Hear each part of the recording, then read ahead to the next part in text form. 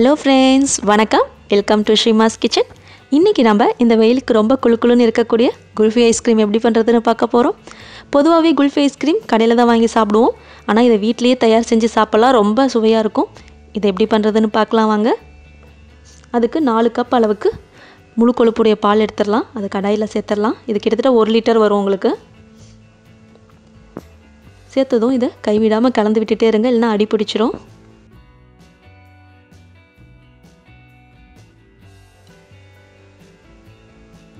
ஸ்டவ்வை வந்து மீடியம் ஃப்ளேம்லேயே வச்சு இதை கலந்து விட்டுட்டே இருங்க. இப்போ கிட்டத்தட்ட ஒரு இருபது நிமிஷம் ஆயிருக்கு. பால் பார்த்தீங்கன்னா பாதியாக குறைஞ்சி வந்திருக்கு. இந்த சமயத்தில் ஒரு அரை டீஸ்பூன் அளவுக்கு ஏலக்காய் தூள் சேர்த்துடலாம். அதையும் கலந்து விட்டுறலாம். கூடவே கால் கப் அளவுக்கு சர்க்கரை சேர்த்துடலாம். நான் வந்து பால் நாலு கப் எடுத்திருக்கேன். அதுக்கு கால் கப் சர்க்கரை எடுத்திருக்கேன். அதே கப்பில் சேர்த்துட்டு அதையும் நல்லா கலந்து விட்டுறலாம். இப்போ இதை வந்து ஒரு பதினஞ்சு நிமிஷம் மீடியம் ஃப்ளேம்லேயே வச்சு திருப்ப கொதிக்க விடுங்க. அடிக்கடி கலந்து விட்டுட்டே இருங்க இல்லைனா அடி பிடிச்சிரும். இப்போ பதினஞ்சு நிமிஷம் ஆயிடுச்சு. இப்போ வந்து பொடியை நறுக்கி வச்சுருக்க பிஸ்தா இதில் சேர்த்துடலாம். உங்களுக்கு என்ன நட்ஸ் வேணுமோ அது சேர்த்துருங்க. இதை ஒரு அஞ்சு நிமிஷம் திருப்ப கொதிக்க விடுங்க.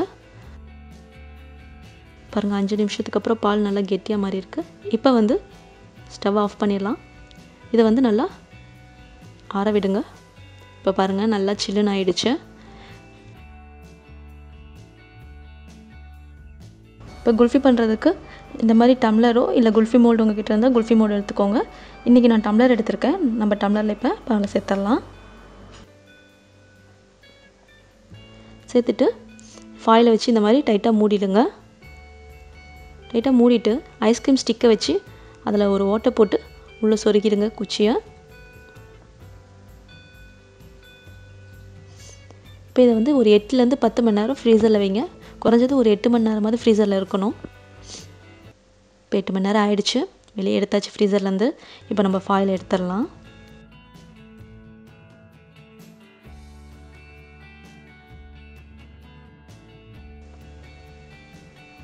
இப்போ ஃபாயில் எல்லாத்துலேருந்து எடுத்தாச்சு.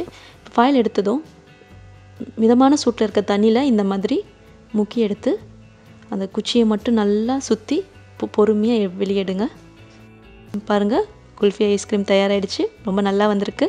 அதே போல் எல்லாத்தையும் வெளியே எடுத்துடலாம்.